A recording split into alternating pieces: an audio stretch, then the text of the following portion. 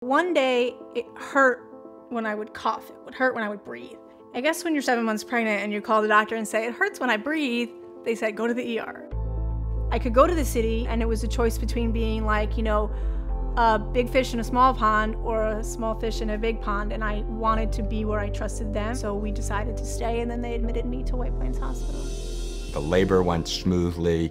The baby came out, uh, came out crying. When I walked into the NICU and I uh, saw Rebecca holding her beautiful baby, a moment where you really see what we can do to help that moment come to fruition.